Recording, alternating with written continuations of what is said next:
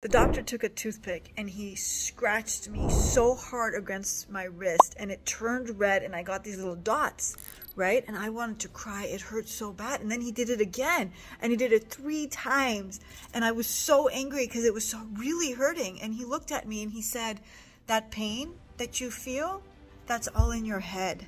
That, that scratch was so light, you shouldn't have felt anything. So those tears is all a mental thing. And that's when I realized I had to take my pain management into my own hands because this doctor was just not believing me that the pain was real. And he was a pain doctor. Like this was his job. And he was doubting me. He thought I was a pill popper.